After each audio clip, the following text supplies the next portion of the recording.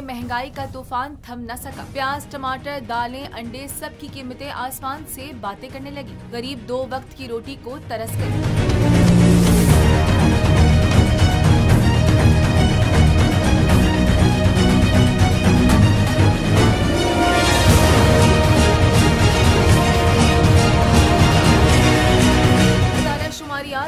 महँगाई से मुतालिक हफ्तावार रिपोर्ट जारी कर दी, जिसके मुताबिक मुल्क में महँगाई सिफर अशारिया आठ दो फ़ीसद मजीद बढ़ गई। रिपोर्ट के मुताबिक मुल्क में महँगाई की मजमू शरह अड़तीस अशारिया छह तीन फ़ीसद आरोप पहुँच गई है। एक हफ़्ते में तैंतीस अशियाए जरूरिया की कीमतों में इजाफा हुआ, चार अशिया सस्ती और चौदह की कीमतों में इस्तेकाम रहा। एक हफ़्ते में प्याज की फ़ी किलो कीमत में उन्नीस रूपए, टमाटर की फ़ी किलो कीमत में आठ रूपए, दाल, मूंग नौ रूपए बारह पैसे और दाल माश अठारह रूपए तक फ़ी किलो महँगी हुई। दाल मसूर के फ़ी किलो कीमत में चौदह रूपए, आलू फ़ी किलो तीन रूपए तक और लहसुन चार रूपए फ़ी किलो तक महँगा हुआ। अंडे पाँच रूपए फ़ी दर्जन और दूध की फ़ी लीटर कीमत में एक रूपए से जायद का इजाफा देखने में आया। पाँच लीटर कुकिंग ऑयल चौदह रूपए और अढ़ाई किलो घी सात रूपए तक महँगा हुआ।